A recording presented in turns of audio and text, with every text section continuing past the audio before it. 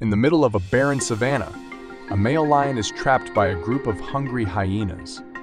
It was an epic battle as the lions defended themselves with their sharp claws. However, the cunning group of hyenas did not give up easily.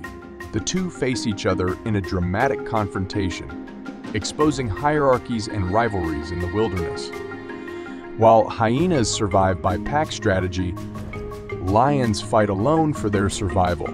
This battle is an illustration of ferocity and competitiveness in this harsh habitat.